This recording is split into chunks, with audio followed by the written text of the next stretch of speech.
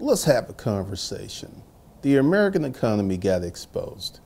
I'm about to give you some predictions of what I think is going to happen in the second reset based upon a little research that I got. So sit back, hold tight, and also if if this is your first time here, go to Hustlers Kung Fu Life Skills and get my free course 30 days to $2500. This course will teach you how to set up a side business and start making some money. And there's a few other helpful things below this video.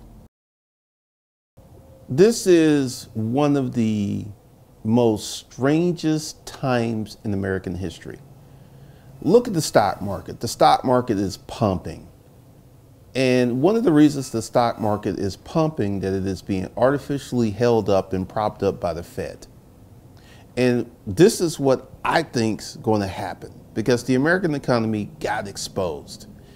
When you dive into the data, you will see things were not as good as they were put to you. We had a record stock market, we had low unemployment. One of the reasons we had low unemployment is due to all of these gig economy workers. They were classified as employees in the data, even though they weren't classified as employees by their companies. Right now, it is super, super strange. We have 33 million people unemployed. Many of these folks cannot even get into the Department of Labor to collect their unemployment benefits. And the stock market's pumping, and the stock market keeps going up. Every time there's all of this bad news, there's a rise in the stock market. And I'm going to tell you why. The Fed is pumping it up Trump wants the stock market to be strong. Trump needs the stock market to be strong. Because if the stock market crashes, which it will, and I'm going to explain to you why I feel that the stock market's going to crash and crash really hard, is you're being fed a narrative that is fake. Because I want you to revisit America in 1950 and I want you to revisit Detroit, which was the second largest economy in the world at the time behind America. You could literally, my Uncle Martin left Alabama, moved to Detroit, started working for GM, and that's where he stayed for 35 years and he retired and he got a pension. He was able, he didn't even graduate high school. He was able to go up to Detroit, work in the factory, make enough money to buy a house. He met my Aunt Lillian. They got married. They raised four kids. And he was able to do this. That's when America was really, really strong. That's when there was opportunity literally in every street. We'll move forward about 25 years to the 70s when we started offshoring our manufacturing. And this eliminated, there was VPs of companies who literally started off in the mailroom and they were able to go from the mailroom to the C-suite through hard effort, determination, and grit. Those opportunities are so rare today. When I was a kid, I went and knocked on the door of this company called Sign Builders and I asked for a job and the lady said they didn't have no job. The owner of the company was driving by, he saw me walking and he came back, picked me up in his Corvette, took me back, and they created a position. He says, A man who wants to work, we're going to create opportunity. That's when America was great. Right now, we have a lot of opportunists, we have uh, situations, and also we have false narratives. Let me explain to you while I feel that the stock market is going to crash again, and I feel that we're going to have a second set of lockdowns. I've been investigating what has happened in China, in South Korea, in Italy. And all of these places that have lifted their restrictions are having a second wave of infections and they're relocking down their economies. That's going to happen here. And right now, the Fed is literally putting their foot on the gas of the economy. They're giving everything they got. They're deploying every trick. We're probably going to have negative interest rates next year. They're doing everything they can. They're literally throwing the kitchen sink at the economy. And they're going to be out of bullets real soon. And then when we have this second wave of infections, these second wave of lockdowns, the markets, the marketplace fundamentals are going to kick in. And then the Fed's going to be in a very tough situation because the Fed just borrowed $3.3 trillion and stacked this on top of the 3.3 trillion for the stimulus act. We're at 6.6 trillion dollars that was stacked on the national deficit in a matter of weeks. How deep are they going to go? And also, we're going to run the, the problem of where our national debt will eclipse our GDP. Make no mistake about it, our GDP is going to be down this year because companies are closed, restaurants are closed, factories are closed, people are not working, 3.3 million people unemployed our GDP is going to be down, and we're already we're close because our national debt was like 20 trillion, and our GDP was 22 trillion. And as long as our GDP was higher than our national debt, we could play that game. But if we run into a situation where, let's say, at the end of the year, our national debt is 32 trillion, and then our GDP is 18 or 17 trillion we start running into a lot of problems.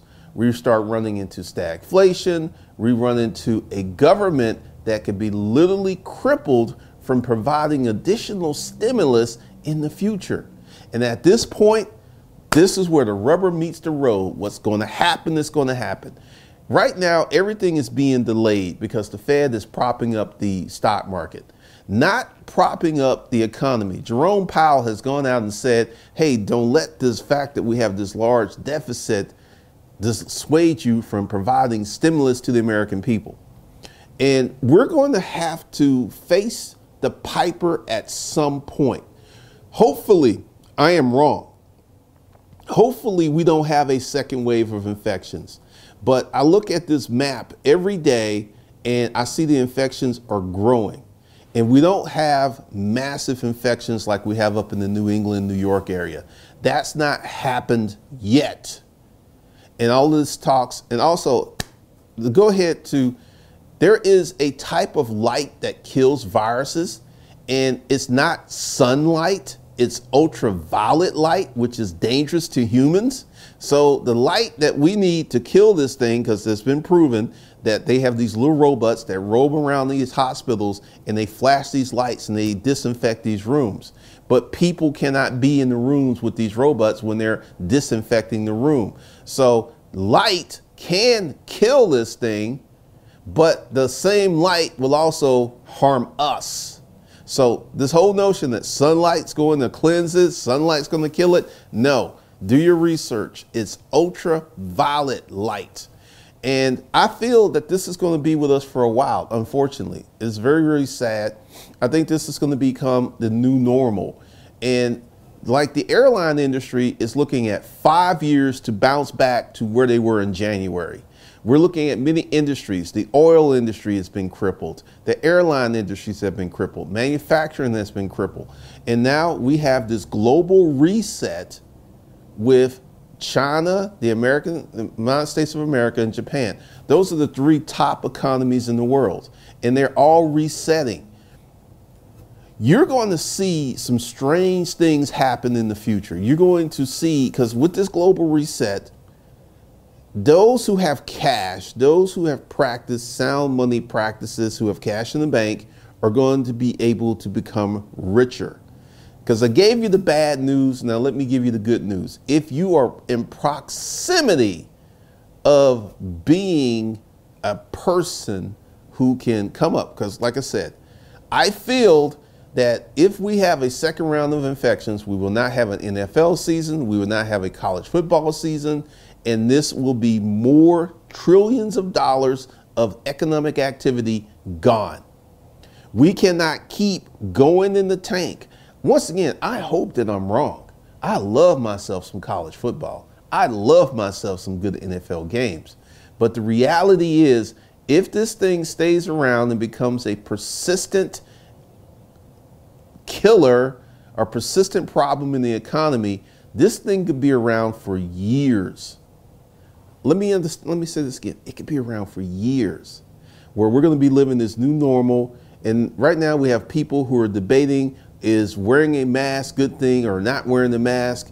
And all of the countries who are winning against this thing, they wear a mask. It's a funny thing because in America, we have a unique spirit that has made this the wealthiest country in the world. And also, that same spirit is something that can create a little damage and a little harm. It is unique because, like, I've been on the fence because we needed to shut down. This thing was dangerous. But the reality is, the economic harm that this thing is causing is harming even more people than the disease is killing.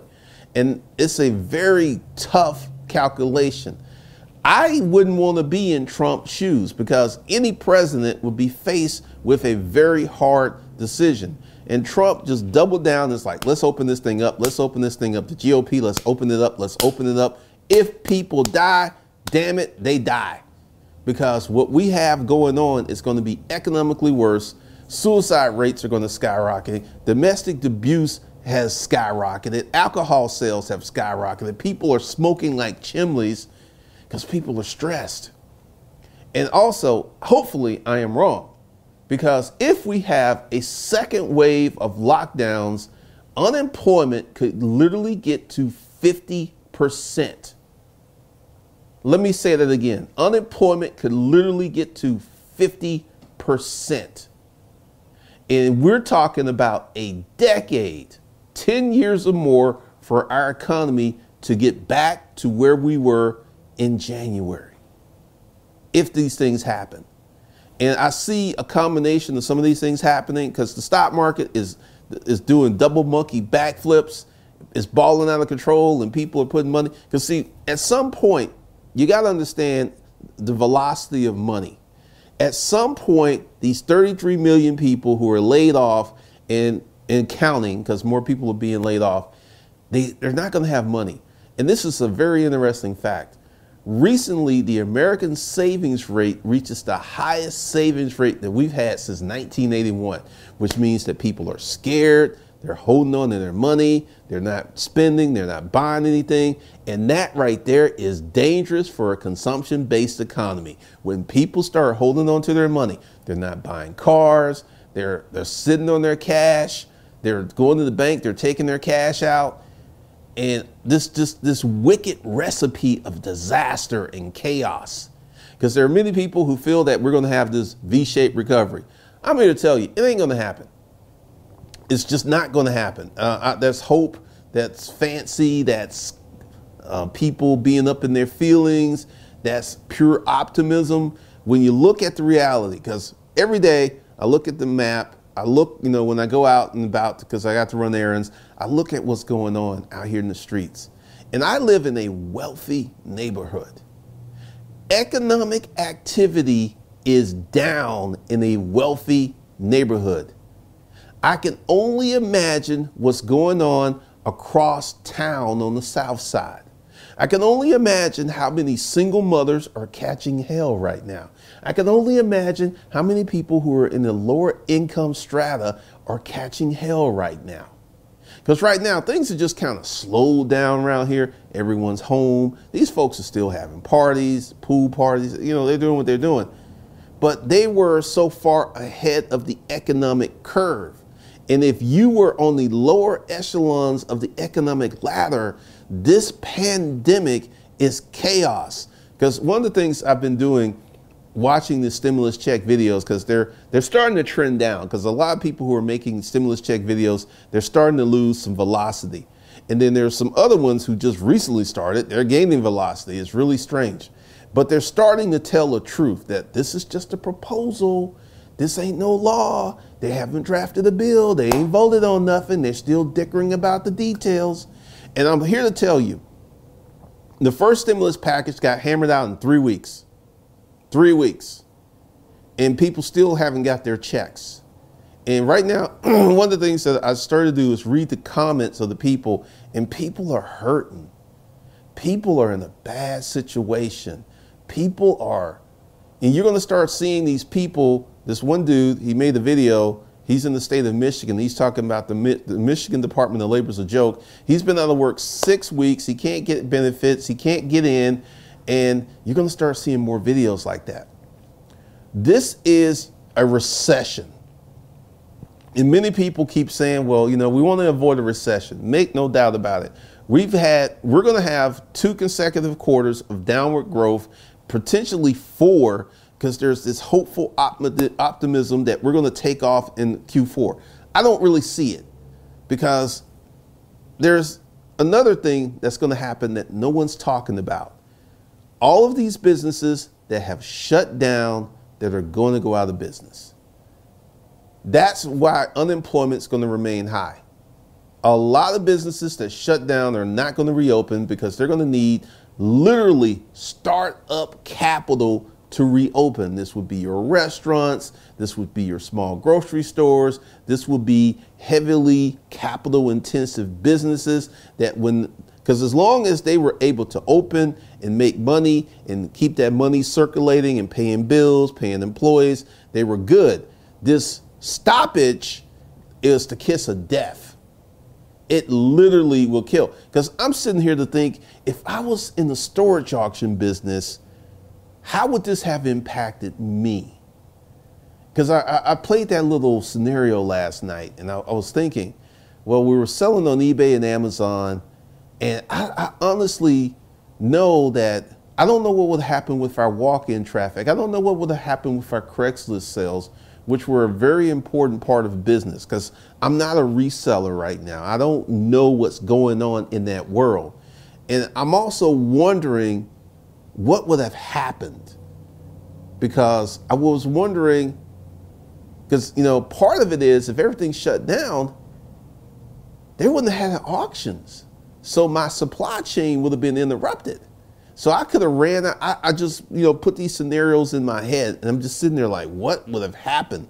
And I'm just sitting here and I'm thinking about all of the people who are in harm's way, all of the people who don't have a savings account, all of the people who don't have any money, all of the people who don't have a rich Uncle G, all of the people, because I had a, a family member reach out to me it was interested, and it was a very sad story. Now I gave him a little money, and you know, right now, it is crazy. It is so crazy, and you have this group of people because on my Facebook, if you're one of my Facebook friends, you know I've always posted about stuff. I was accused of posting nothing but racist posts, and out of because I actually counted out of 400 posts, I had one post that kind of touched on races, and that was considered many. And I just left the conversation alone because people are in their feelings. People are using any excuse to display their racism, using because this dude's a racist. He doesn't know it. He's a benign racist. He doesn't feel like, you know, he may even have a few black friends, but he's a racist because he saw one post and he deducted that I was always talking about racism. It was kind of like those sitcoms back in the day when they had three or four black characters. They were considered a black show because there was three or four white characters, three or four black characters. Just a strange, strange thing. But right now, we, we, we have so much that's going on. And even with the reopening of the economy, it's going to be choppy, it's going to be slow, it's going to be problematic. And it all goes back to money. And you know, it, it is a strange stuff because America got exposed. Because if our economy was as strong as it was claimed to be, we wouldn't have fell so fast, so quick. Literally, you've got millions of people who absolutely have no money or on unemployment. And there's a small percentage of people who are making more money on unemployment. But there's a lot of people who can't even get unemployment. I want you to think about that. You just got let go from your job. You don't have no money. You got a wife, you got a kid, and you cannot provide for your family. That is a damning position to be in. Because, like I said, I started, because you know, these stimulus check videos, they really took off. And I made a personal calculation that I was going to avoid that. I'm still going to avoid it. I'm not going to talk about it. I'm going to continue to do what I'm doing. And I just started to, the comments will make you cry. These people are in a world of hurt. they're out here suffering. So I understand why people kind of push back on my videos where I say I don't think there will be a second stimulus check. And even with all of this economic carnage, look at what's going on. Trump doesn't want to cut another check, and the GOP doesn't want to cut another check. And they're going to pull, they're going to delay this as long as they can. If they can pull it off, if the economy shows a little signs of life and things like, I feel that if there's a second round of infections, they will have no choice but to cut a second stimulus check. But until and if that happens, I think they're going to hold off as long as they can. They're not going to make any decisions because they don't want to. Because I'm telling you, there are people who are really looking at the national debt and they're looking at the GDP, and our GDP has been compromised. Our GDP has shrunk, and it, this could be a very bad, bad year for America because if we get 30 trillion on the balance sheet and our GDP goes down to 15 to 17 trillion, we're going to be in a world of problems. So I want you, because let's talk about solutions, because we we've, we talked about all of the darkness and everything. Right now, I want you to go ahead and get my course, 30 Days to 2500. I want you to get the Hustler Mindset course. And if you're in a position, because I understand there's a lot of people who are not in a position, I want you to get the Money Management course. Because right now, this has exposed America's bad money habits, and this has exposed America's addiction to the American credit indoctrination system. And we got to make some changes as a country. People have got to start saving money. And if you're one of the people in the lower economic income strata, you got to make more money. I know you want to chill out on the weekends and play your video games and go to your parties, but put yourself in a better economic situation before you go out and start playing and partying around. Take care of home first. Make sure that you're, because right now, you're getting a reprieve on your mortgage, you're getting a reprieve on your credit cards, you're getting a reprieve on your car note. That's only temporary. At some point, all of the nasty consequences of having debt are going to come home to roost like some wicked chickens. They're going to be coming home and roosting and just driving you crazy. We're going to see all time high bankruptcy filings. Because, see, as we transition through this, we're going to see foreclosures. I think the real estate market is going to take a big, big hit, especially if we have a second wave of infections. Home prices are dropping. I've seen a lot of people pull their homes off the market and they're trying to rent them. And that's going to be interesting because real estate is going to have real estate's going to, commercial real estate is already in the toilet. Re- commercial real estate is is having a depression because all of these businesses that are occupying these commercial spaces, they're not making any money, they cannot pay their rent. So commercial real estate is taking it inside the head. I mean, commercial real, it's like commercial real estate broke into someone's house and they ran into a 12 gauge shotgun and they got 12 loads to the chest. That's what's happening with commercial real estate. And soon that's going to start happening to residential real estate because there's a lagging indicator because many people who are buying houses and stuff, they bought their houses, they went through with their transactions. And as we go through this thing, you're going to see it drop off a cliff. And also, with the Fed and all this uh, money in the economy, the banks, because see, this is where the negative interest rates come in. The negative interest rates are to punish the banks for not loaning money. However, banks are in business to make money, and I guarantee you, even with negative interest rates, banks are not going to be putting money into unqualified applicants' hands. And if we get to 50% unemployment, there's going to be many people who will not be structurally sound financially to even get a loan. So, all of this money printing, the negative interest rates, it's just not going to work because there's a certain structure to these things, and that's the way it's supposed to be. So, hopefully, I am wrong. Hopefully, we do have football season. Hopefully, we don't have a second wave of infections. But if we do, and it's can be very likely because of who we are as Americans, because I, I said it. I said it many times. I said it before in the live stream that we're going to have the highest infection rate in the world. And here we are. And it's going to keep going up and it's going to become part of this new normal. It's going to become part of kind of like The Walking Dead. They were in the brave new world where they were out there killing the walkers and the zombies. We're going to be mask wearing. We're going to be avoiding each other. People are not going to want to travel. Hotels are going to suffer. Airbnb is going to collapse. And this is right, this is happening right now. But back to solutions. What you need to do is start you a side business. I, understand if you're unemployed. That's why I made 30 days to 2500 free. And I've already had some positive feedback and I like someone come in, I listened to you one day one and two, and I've already had three sales. This is what's going to help you weather this storm, the storm. Self-sufficiency. I know the government is teasing you with all these proposals. It's the Democrats. It's the Democrats. It's not the Republicans. They're teasing you.